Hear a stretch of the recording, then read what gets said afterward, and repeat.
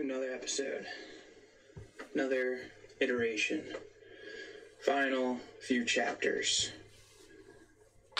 Let's read Suck Up the Purple Buttermilk by Donald Otis Steiger.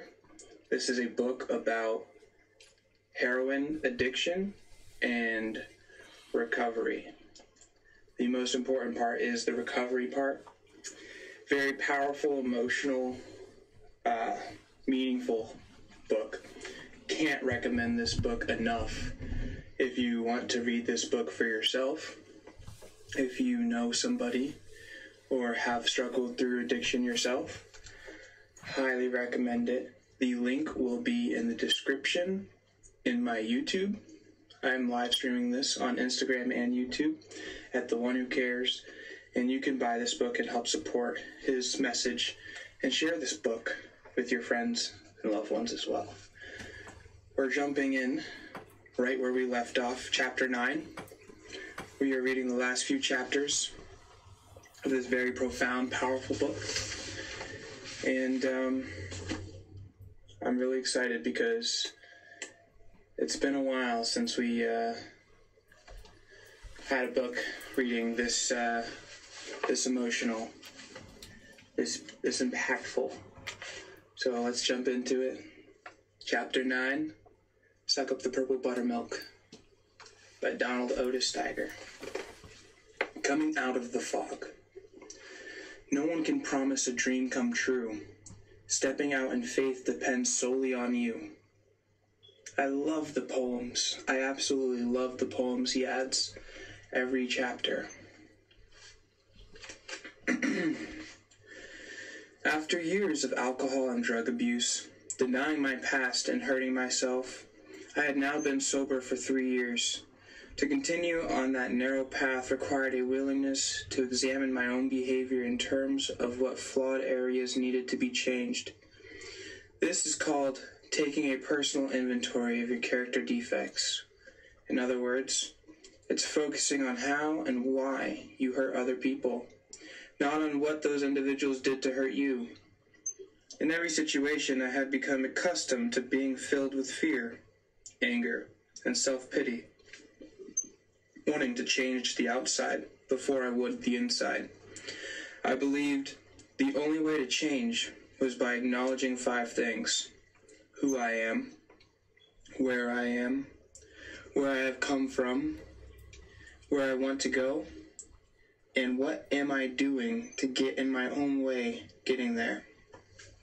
Small strides are still big when they can change the direction of a path, of course. Despite my hellish past, I chose to both love and accept myself and get on my knees each morning and ask God to remove any fear I had about the day and to remove any desire for a drink or drug. Though I was sober, smoking one and a half packs of cigarettes was still part of my daily routine. To me, I still had another addiction to battle, another drug to overcome. This was the rebirth of Donnie Steiger that included attending AA meetings regularly and striving not to hurt myself or anyone else again. In trying to lead a normal life, I had ignored the pain of fear, hate, jealousy, and anger turn inward, depression. But now, for the first time in my life, I came to understand my true motives of seeking to ease my pain while continuing to hurt myself. You can refer to this as sabotaging your life by living with fear and uncertainty and attempting to soothe the pain with drugs and alcohol. This kind of existence only makes your false weaknesses, failures, and inadequacies stand out more, which in turn prompts a continuous replay of all the unresolved issues. For me, it involved a, a name to a name a few, excuse me, it involved to name a few fear of failing as a father and the shame of not knowing how to read and write. Coming to terms with my own defects was not a pleasant experience, nor for anyone who wants to improve him or herself. because our character flaws can only hurt us since denial only works until we can face the truth about ourselves. That's why our society is going at such a fast, reckless pace. Everyone is busy being in denial of his or own, her own pain, not stopping to take the time to deal with it in order to find healing. Although you see a new life that's free, the change of new frightened, frightened me. I had two choices. Facing me first, I could be willing to face the truth about myself, or I could simply refuse to do so. But I discovered that in facing all my shortcomings, there was security and spiritual growth in learning how to accept others and myself just as we were, just as we are, which is still very difficult to practice.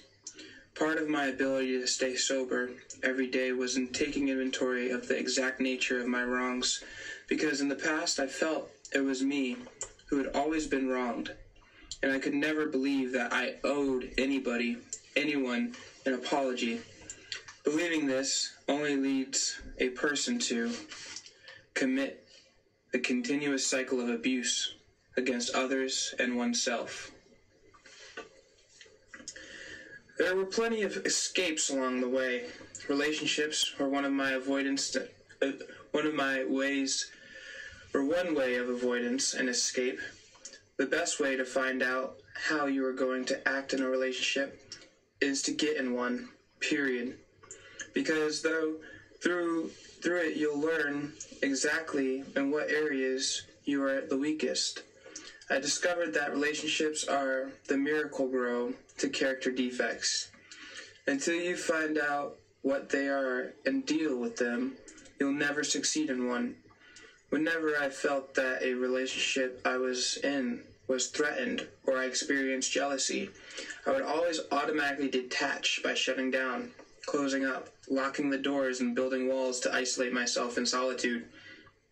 One way that helped me stay in touch with the realities of my shortcomings was by playing in a sober rock excuse me sober rock band.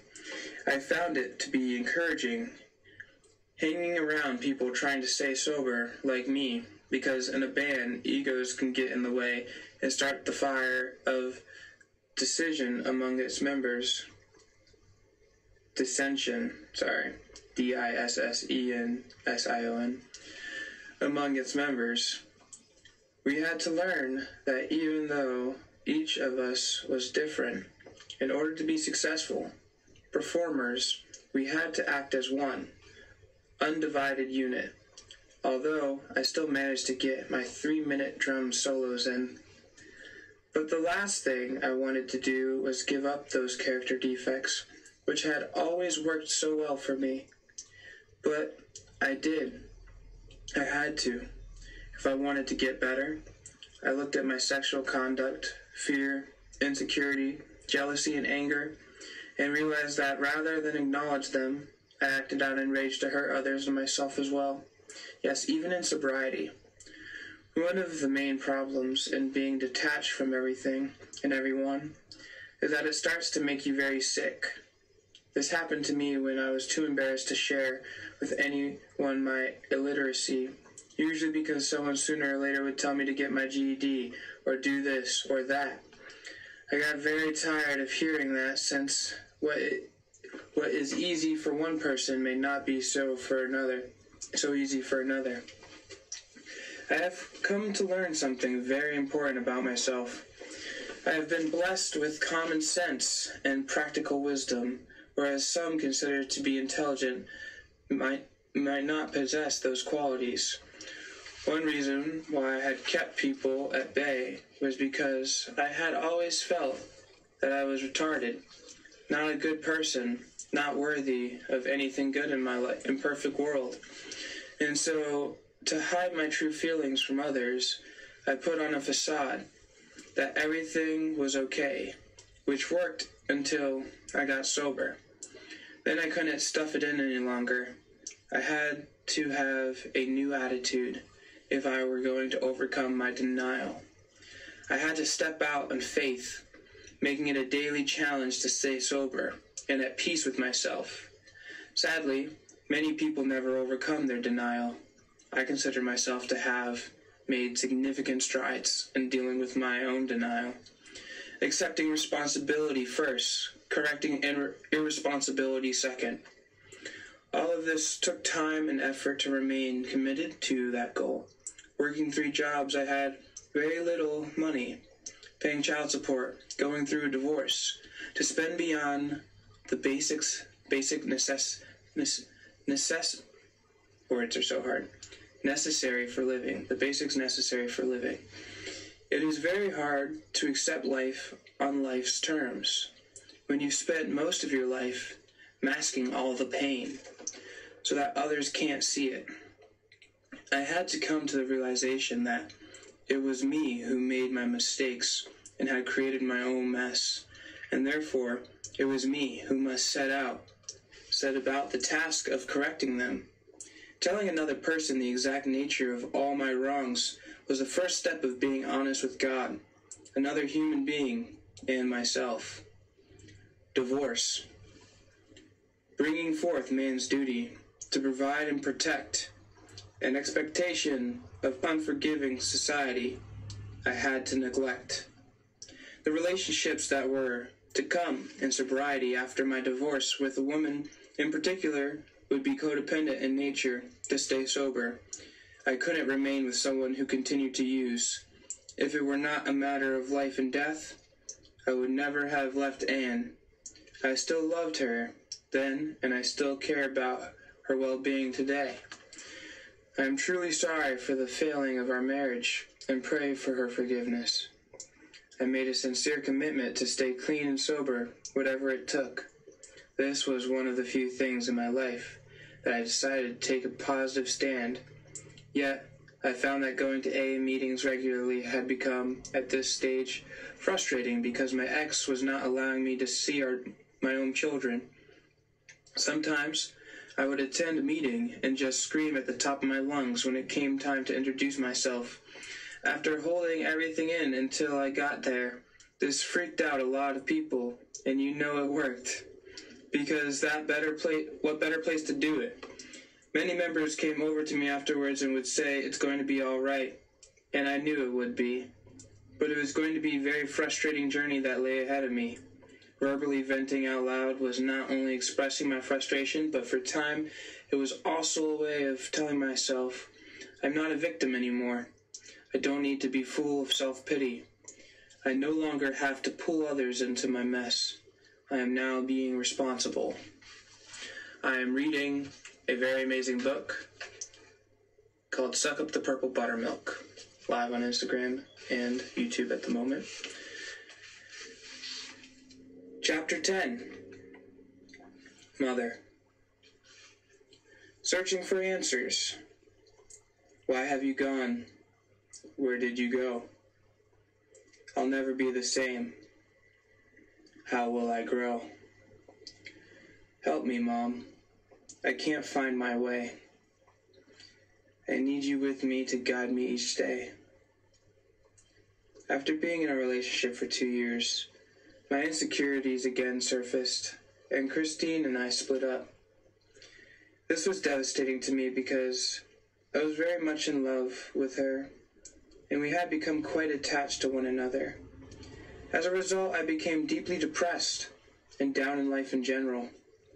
This after being sober for five years, I had lost my job, car, and apartment. Therefore, broke, making it necessary to live with my father a big letdown after struggling for so long to afford a place of my own. There were days when I found myself sitting on the end of my bed and staring across the room, crying, not fully understanding why. Since I didn't know then, and this was happening to me, I took another inventory and noticed that the people on my list, I didn't include the name of my mother. I couldn't grasp why. I was able to forgive and ask to be forgiven by them, but not to do the same for my own mother. The one thing I didn't I did feel was that my mom really didn't matter. I asked myself, What did I ever do to her anyway? This is the woman who beat and abandoned me, so at the wise suggestion of a friend, to do a thorough accounting of my actions, I wrote her name down on my list and asked, How have I wronged her? And I came up with these three wrongs. I hated her. I resented her. And I was angry with her. Now I understood why her name had been missing from the list. Since the start of my sobriety, while writing three while writing these reasons, I began crying because I knew in my heart that for the first time in the denial of my mother, the truth had revealed itself. She was an alcoholic. She might have had it worse than me, taking all the pain and unhappiness out on my father, my brother, my sister, myself, and herself. Releasing all these pent up emotions I carried my entire life. I decided I needed to call her after no contact for 28 years. In order to make my amends, I did this not knowing where she lived, not knowing if I would ever see her again. Within 24 hours of praying for the chance to make things right with my mother, my brother Eddie, not aware of my prayer, came to the door and asked if I wanted our mother's phone number. Wow. When I said yes, I turned to him and asked God, oh no, excuse me, him and asked, guess what? Do you know that mother's, that mom's an alcoholic? He replied, yeah, Don, I know.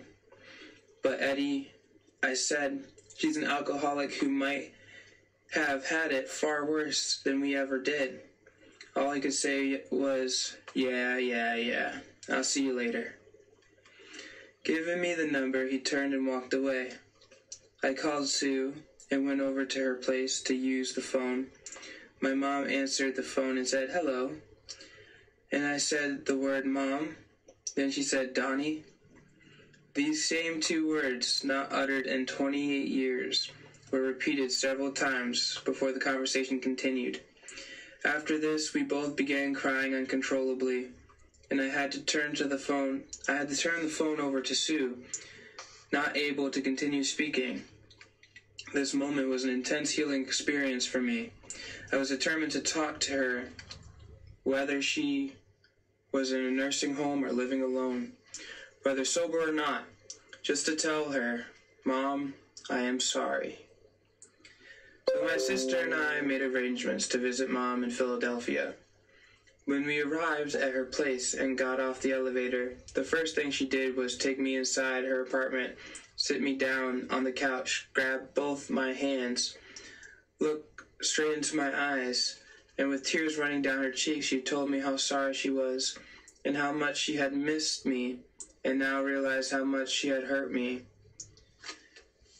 Had hurt not only me, but all of us. That moment is something I shall never forget.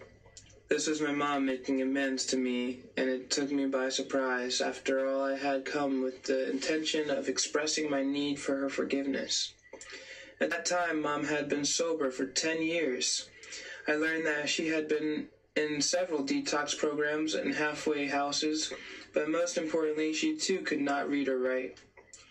Now I knew why she would always yell at me all the time, being frustrated with her own illiteracy and too embarrassed to admit it to her kids. I decided that I was going to move my mother back to Worcester in order to establish a relationship with her for the first time in my life at the age of 46. I tried to spend all my spare time with her at home, at her, at her home, especially on the holidays. We would attend meetings together occasionally, during this healing process, I began to find out more about the woman I was now proud to call my mother. I learned about her past history, that she was brought up poor in the backwoods of Tennessee without any formal education. At a very early age, she had been pulled out of school to take care of her dying father. We were able to develop a very loving and compassionate bond, and I could, for the first time ever, have the love I had for her without holding the past against her. There was no way that I would allow the past to ruin the present, not after being given the unexpected gift of having a mom in my life again for a brand new start. I heard this saying while watching the movie Magnolia, which portrayed the healing prophecies, prophecies of its characters. Page 100. Sometimes we may be, though, with our past, but our past may not be, though, with us. Excuse me. I'll reread that. Sometimes we may be through with our past. Our past may not be through with us. Our world is full of people who can't handle the present because they are still holding on to the resentments of the past. My mom and I started attending a Pentecostal church together because I had come to know the Pastor Joey as a personal friend. He would preach, play rhythm guitar, and sing in the praise of worship hour. I also began playing my drums. It was something I enjoyed doing as a way of giving back to God for what He had done for me, removing the desire to drink and drug. Set me free, set me free, set me free. I am free, I am free, I am free. Thank you, thank you, thank you. There were movements, or excuse me, there were moments when my mom and I would just stand at the altar holding hands while praying and the tears flowing down our faces. Evidence that the barriers between us were breaking, breaking down and bringing further healing to people who were once alienated in body, mind, and spirit. Soon after we were baptized together, my mom noticed pain in her lungs, excuse me, pain in her legs. An examination revealed that she had breast cancer. They removed one breast and part of her lung. She underwent chemotherapy for one year. Needless to say, this was a very difficult time for both of us. But I loved her and wanted to be with her, especially now. Having this opportunity was something I considered a gift in, uh, in itself. Now she could have someone with her, not needing to endure it alone. She did, in time, get better, only to fall ill again about a year later. She received the bad news that the cancer had spread to her liver, and the diagnosis was that she only had three months to live. Damn. This was hard news to accept because my mother and I had just begun to know and love one another the way it should be in a normal family. I could have reacted to the situation in a negative way and shut off everything and everyone around me, blaming God for breaking up what had just been brought been put back together again. But I said, "Okay, mom. What is it you want me to do?" Her answer, I want to stay in my own apartment, to die, not to go to a nursing home. When I asked her again, her response matched the first answer. That's all. She then asked if I would be with her through it all, saying in the same breath, "You've got other things to do. I'm not a, I'm not all that important." But I assured her, "Yes, mom, you're important. You are important to me. You are the most important person in my life.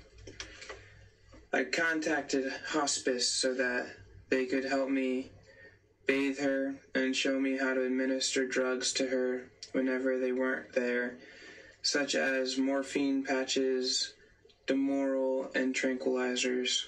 The hospice people considered me to be a caretaker for my mother, and I am indebted to them for their assistance.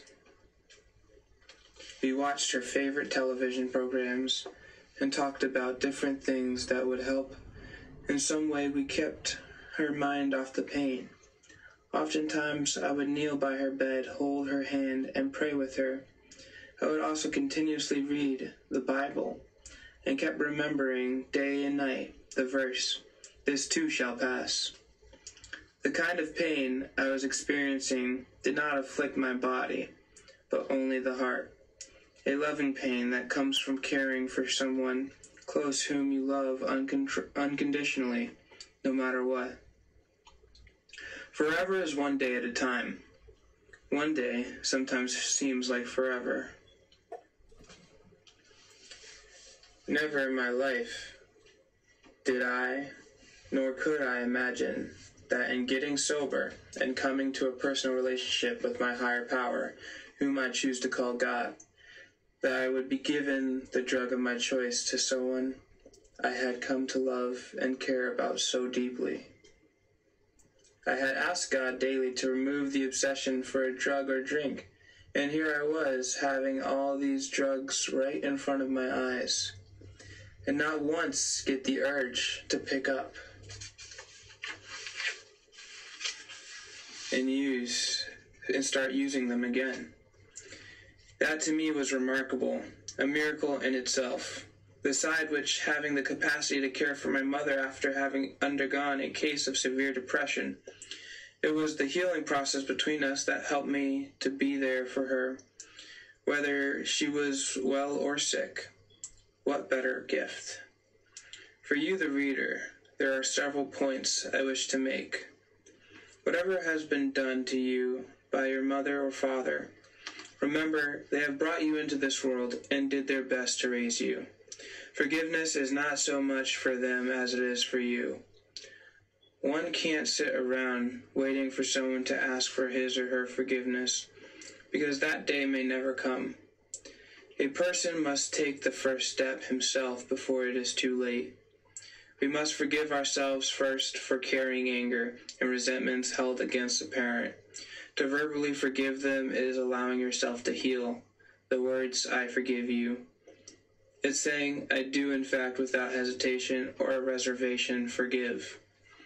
The act of saying and hearing, I forgive you, can be summarized into three parts.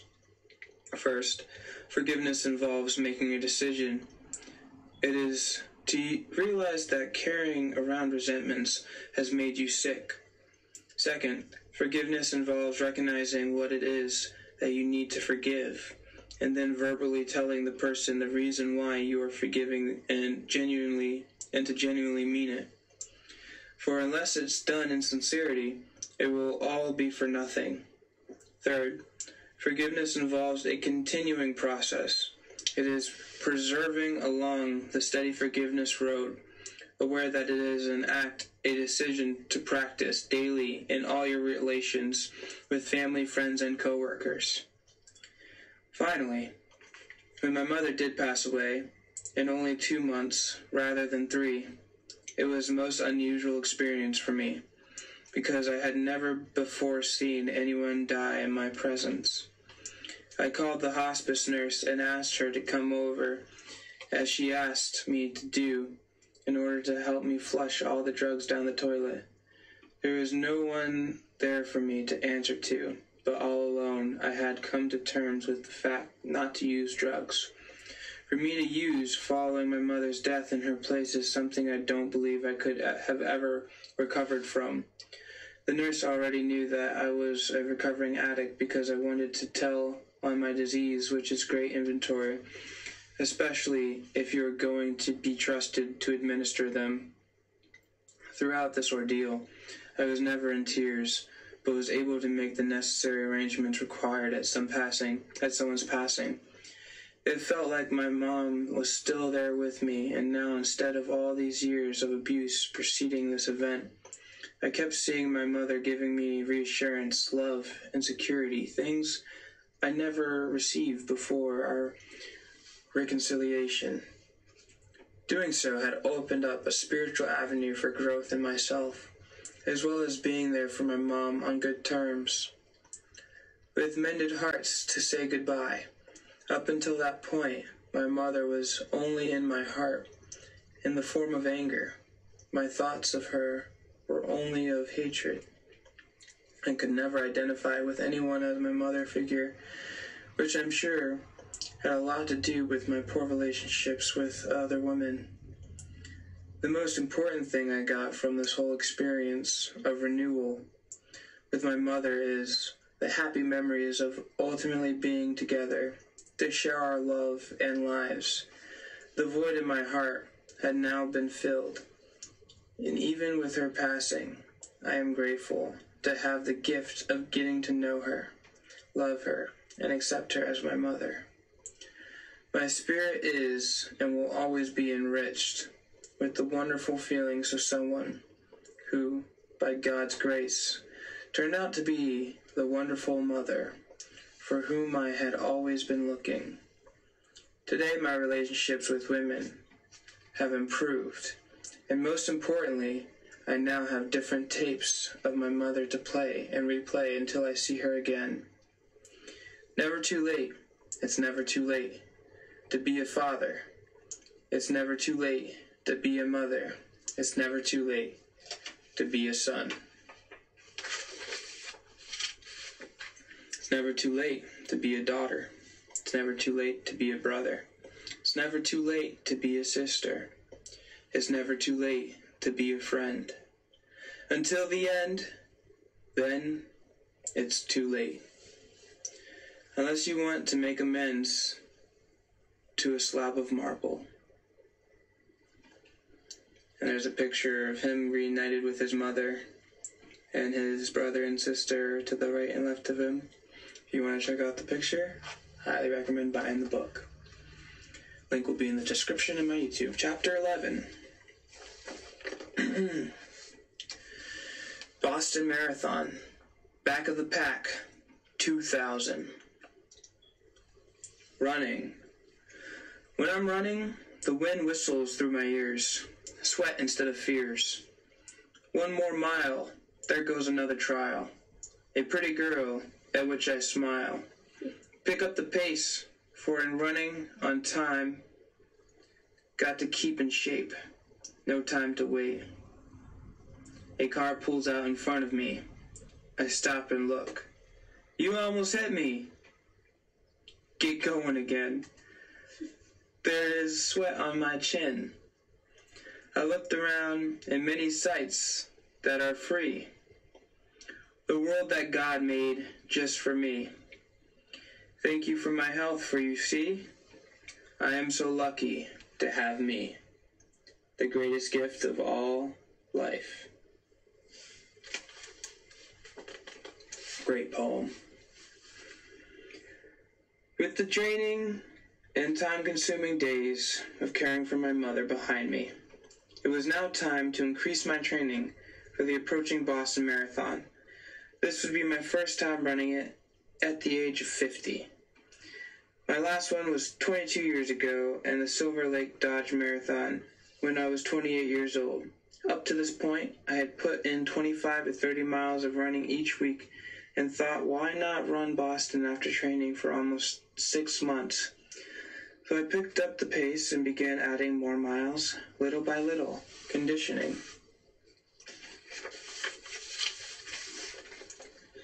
My body to go, conditioning my body to go the distance, 26.2 miles. I also included swimming and weightlifting as part of my daily workout, which doesn't hurt. So after competing, one 18 and 19 mile respectively, oh, excuse me, after completing one 18 and 19 mile respectively, and two 20 miles, I was ready. I soon purchased my bus ticket that would take me to Hopkinton, Hopkinton, words are so hard, Hopkinton, Massachusetts, where the race begins. I was positioned in the back, way back with the other bandits in the field. As I looked around, all I could see were thousands upon thousands of other runners. More than 17,000, the most ever in the race's history. After the gun went off, I was several miles into the run. Something happened to my awareness that would tell the real story of the Boston Marathon. Something more than just the top elite runners competing to win and have the wreath, the wreath, W R E A T H, the wreath of victory placed on their head. For in looking over to my left, I observed an overweight woman with a huge written letter on her back that read, Angela Somers, fictitious, fictitious name, died. August 19, 1999, of breast cancer. The letter expressed how much she loved her mother. The woman was running to raise money for cancer research. To my right, I saw a man whose leg had been amputated, walking on crutches, and man, he was really kicking it too. In front of me was a young man in his 20s, sitting in a wheelchair with cerebral palsy. His body was so twisted that his head was looking over his left shoulder while scooting himself along, going backwards. Each of these people, having heart and determination, were going their own pace, inch by painstaking inch, just to finish no matter what the cost, physically and mentally. As I passed them, many more stories came into focus. I noticed the thousands of spectators lining the route that were clapping and whistling and listening to the band's play.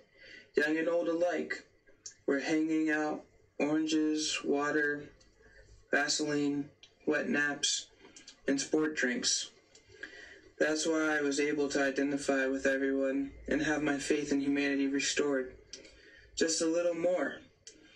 I reflected upon all that I had gone through in order to get to this point in my life. And being healthy and fit enough to run this historic new millennium marathon that finished with the time of 4:30 assuming that's 4 hours and 30 minutes. Above the noise of the crowd, I could hear my mother calling my name.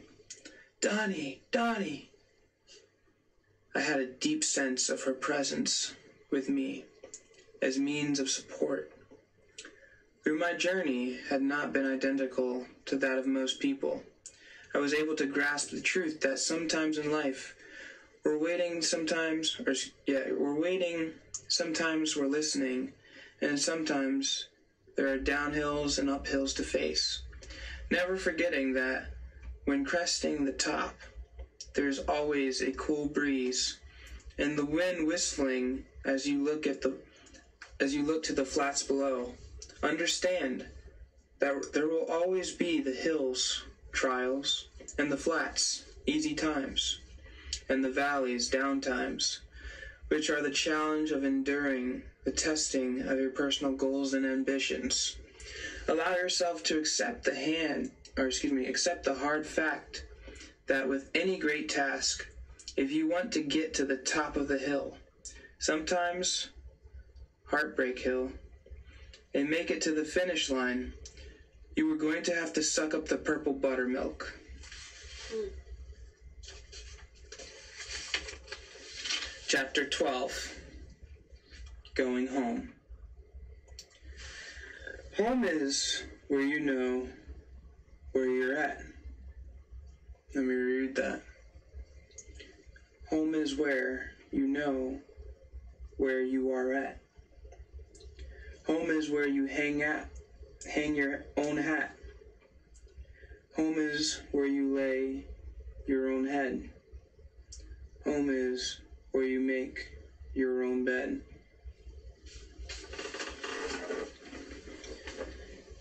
I have come to believe that when the decision was made to go home, I was actually seeking peace, peace of mind, and peace of spirit.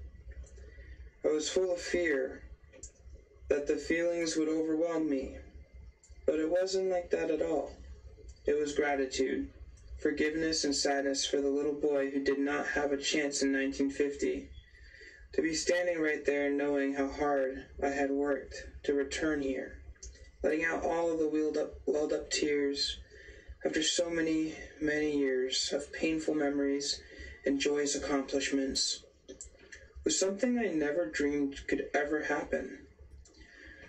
While looking at the house in which I had cherished the most, and that is the only place I'll always consider to be my real home, I kept saying to myself, I'm okay, I'm okay. I made it, I made it.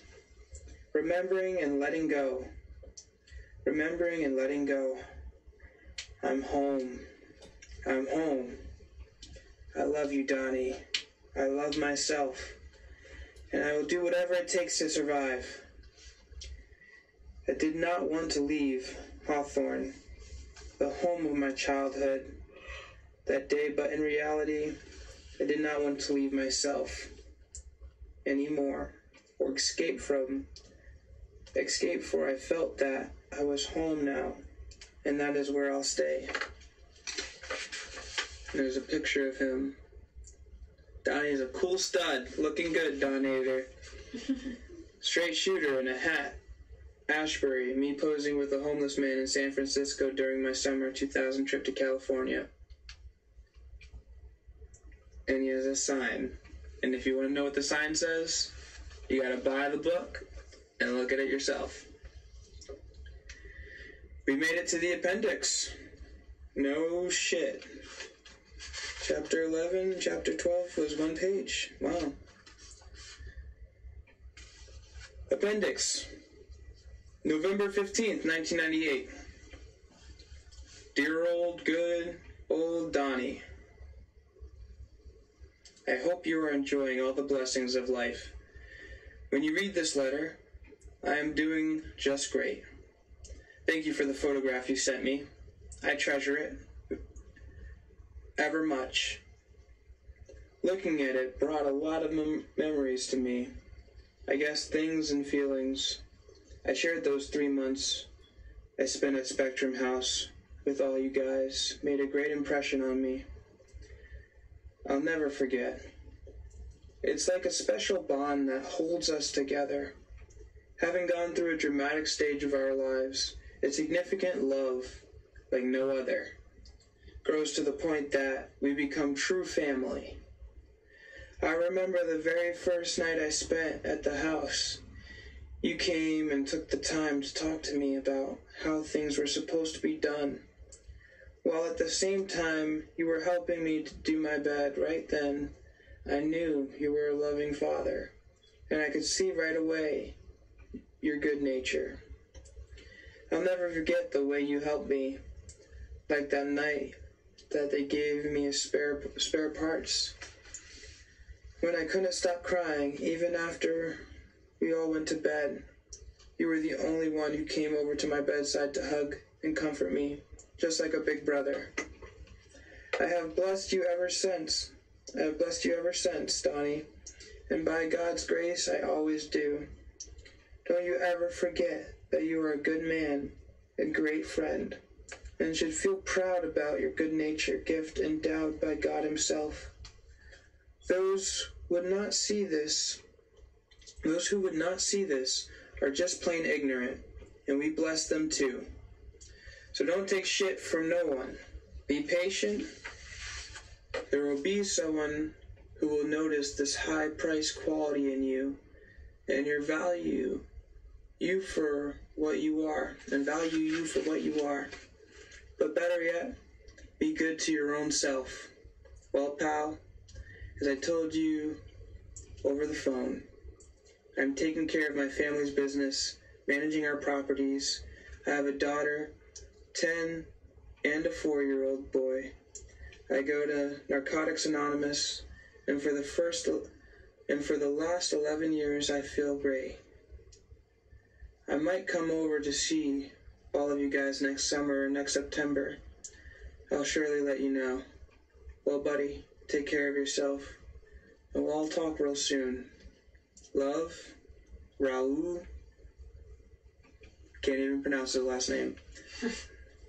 Velasquez. Velasquez. Sorry if I'm butchering that.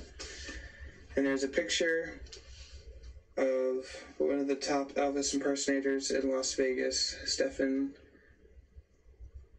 Connolly. I think he uh, met him. And there's a couple more pictures. Amy's graduation picture. His father with um, the Lone Ranger in Las Vegas. That's pretty cool. Jesse, 21 years old, driving on the highway in Fort Lauderdale A couple other pictures of uh, these are all black and white pictures. Life isn't over just because you're sober. Living it up in Fort Lauderdale. Another reason to stay sober, my first grandchild, John Otis Steiger, born December 29, 2000. Holy shit, he's a year younger than me. God damn. To parents Jesse and Stephanie. And the final picture is a vacationing picture. Don Nader. Looking good, buddy. Looking good, Donster. Vacationing in Fort Lauderdale, January 2001. I'll show that picture. That's the one picture you guys get. That's the Don Nader right there. Look at that. Look at the stud. Look at that stud. there he is. And then there is the uh, pun and poem index, which I'm actually might as well just read these because I, I, I absolutely love the poems that he had here. Here's some uh, books recommended by the author. Number one, the Bible. Might do a book reading of the Bible one day. I haven't read the whole thing myself. Carlson Richard, Don't Sweat the Small Stuff.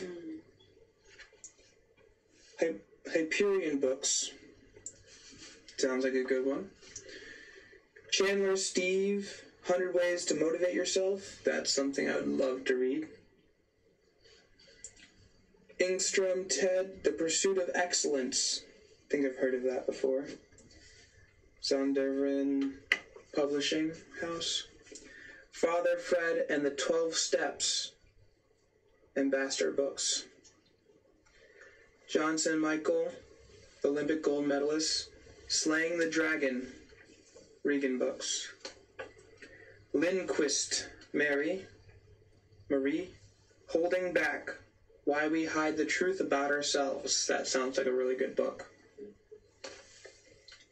Richard Jennifer, Diary of Abuse, Diary of Healing, Recovery Communications, Baltimore, 1996. And there's two more books he recommends. Silverstein, Shel Silverstein, The Giving Tree. I'm so glad he has that in here. My favorite poet of all time is Shel Silverstein. My favorite poem of all time is The Perfect High. I think I just want to mention that just because it complements this book very nicely.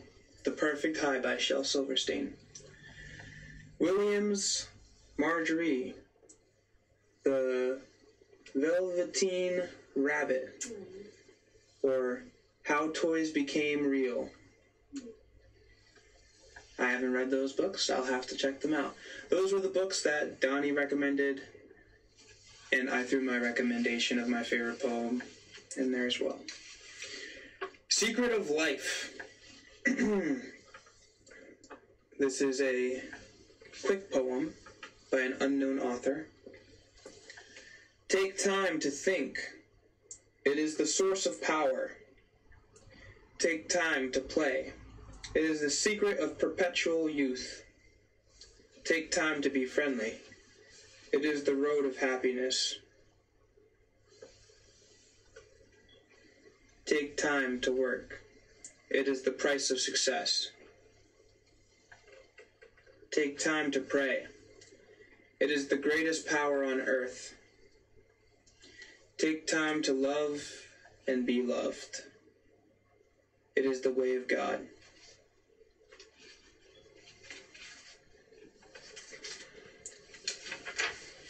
God bless America. Picture of the flag. In memory of those who lost their lives and their loved ones on September 11, 2001.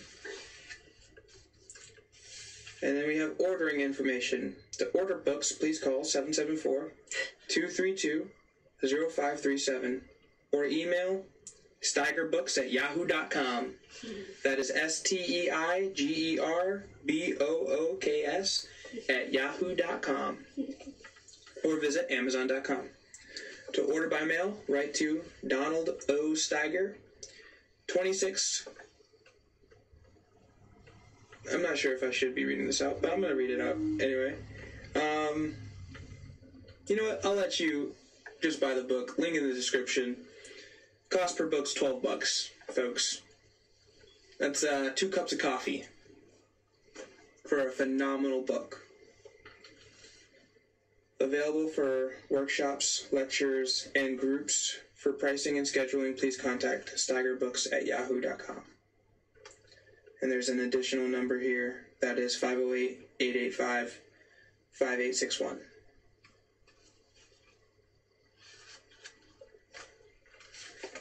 That was that. What a phenomenal read. I've been uh, reading for an hour these last few pages here, and all together, five hour read for me. So, what an amazing book. This is probably my second favorite book of all time. I would have to say I haven't have too, I don't have too many books under my belt. Probably a solid 20, 30 that I've genuinely read through um, start to finish, every single word. This is my second favorite book of all time. It's probably the most important book I've read.